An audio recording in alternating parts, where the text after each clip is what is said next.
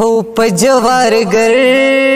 لالي می سر دې پلک می اخلي او پر روپې می خرڅوي نا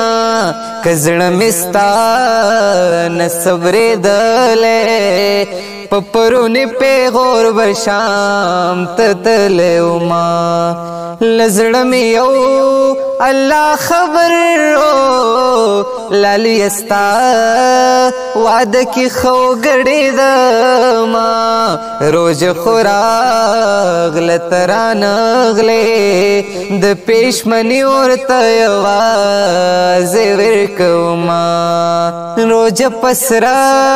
ګرمۍ کې راغلا جانان بوچی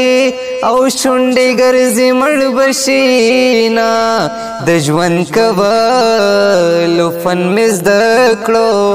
بغیر لتا ګلو سه ژوند کول شما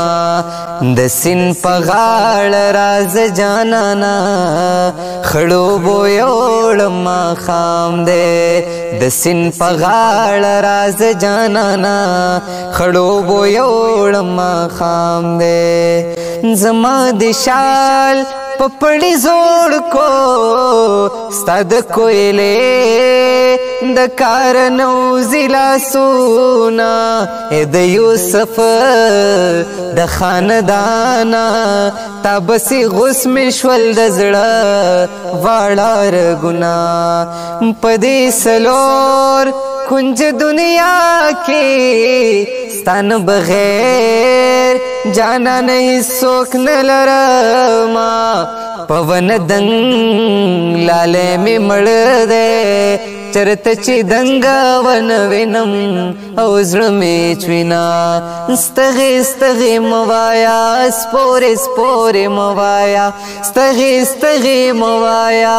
سپور سپور موایا سچې دی ویلو دی ویل بس کنور موایا سچې دی ویلو دی ویل بس کنور موایا ستا یارانا میکړینا ویل ځان می د سین پچ په وړې وې میانا مخت وی گو رم ویل کېم مپکې نه خید غربت خفا کوینا زړګي دغل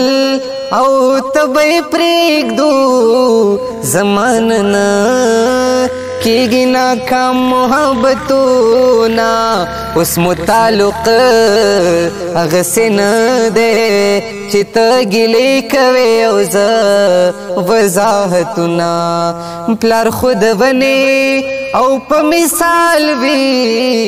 بچی ټول او د سور لاندې ژوند کوي نا رور کده هر څنګه ورور وی په هر سخت کې ملاتړ در سر وینا نصبرېږي یار بیلتا زړه سر سوکم نصبرېږي یار بیلتا زړه سر سوکم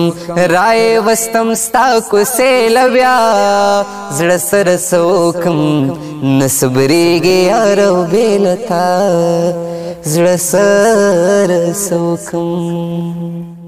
د سین په غاړه راز جانانا خړو بو یوړ ما خام دې